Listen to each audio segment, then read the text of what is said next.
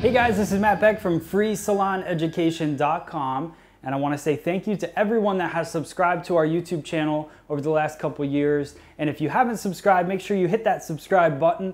We'd love to have you a part of the FSE family. We got new videos coming out now, Monday through Friday. So five days a week, we're doing new videos and also our live podcast every Wednesday night, starting at 7.30 p.m. Eastern Standard Time. So we'd love for you guys to be a part of everything that's going on and asking questions and just being a part of our family. So thank you again, guys, for being subscribers. And those of you that are new to our channel, check it out. We have videos on everything that has to do with the hair industry. So thank you guys for watching, and I will see you on the next video. Thanks.